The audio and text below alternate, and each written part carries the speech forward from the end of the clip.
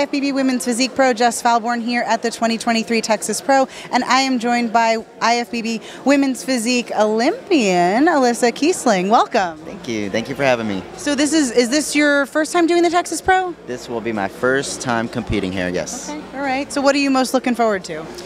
Honestly, the crowd.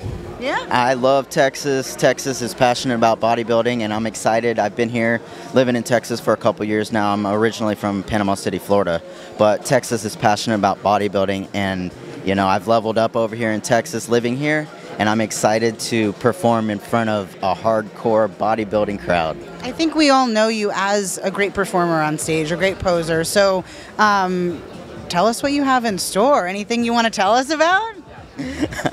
Uh, the way I run things, you know, I I'm a posing coach for that's that's how I make my money.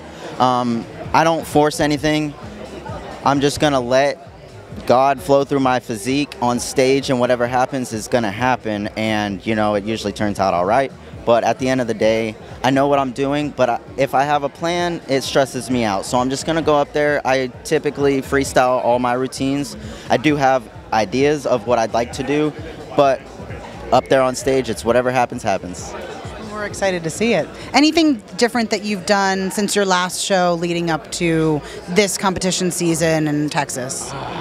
Different, I can't say much has changed um, other than just, yeah, I can't say much has changed. Since I got into the sport, I've developed a, a regimen of how I perform every day and uh, how I do things, and I really haven't changed since I've started and it's just been a, an, an aging process, like fine wine.